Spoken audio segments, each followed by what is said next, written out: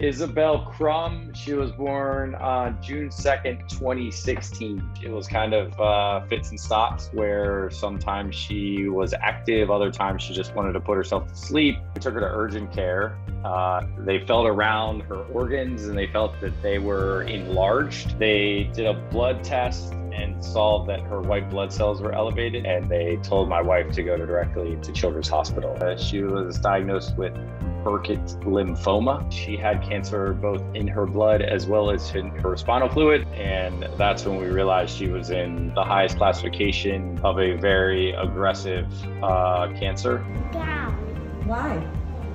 Down it is. Where are we going? Home. She finished treatment on February 26th in our home. My wife administered the last dose of chemotherapy. It's great to see. Uh, it's good that she's, you know, going crazy, running all over the place, and uh, you know, my house is now laughs and giggles again. When you know, nine months ago, it was a very quiet time here in the Crum household.